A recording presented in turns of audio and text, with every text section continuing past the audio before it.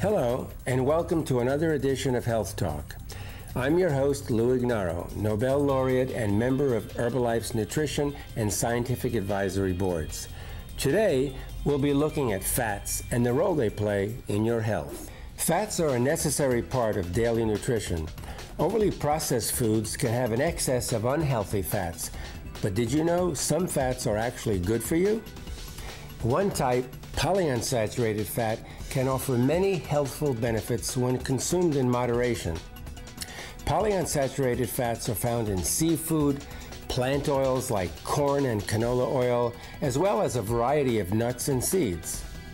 Polyunsaturated fats include a vital group known as essential fatty acids. Every cell in the human body has essential fatty acids. They are so important. They were originally classified as vitamins, only later to be recategorized as fats. For the body to function properly, essential fatty acids must be part of your healthy diet.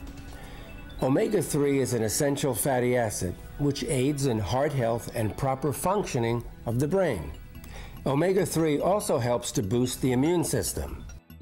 Heart health products like Herbalifeline can provide you with an appropriate amount of omega 3 fatty acids every day. Just one capsule taken two to three times daily can fulfill your body's need for omega 3s and other essential fatty acids. And for increased benefits, try Herbalife's Core Complex. It combines Herbalifeline capsules with the added bonus of TriShield and 100% Neptune krill oil. These convenient, ready to use packets are specially formulated to target key areas of heart maintenance. That's all for this edition of Health Talk.